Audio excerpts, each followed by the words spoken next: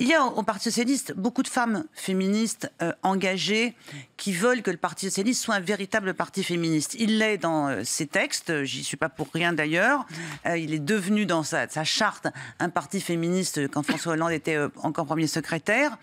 Aujourd'hui, moi, ce que je vais écouter, c'est la manière dont les candidats soir vont en parler. Parce que on est dans une période où tout le monde est féministe. Tout le monde est pour que la parole des femmes se libère, tout le monde est pour l'égalité.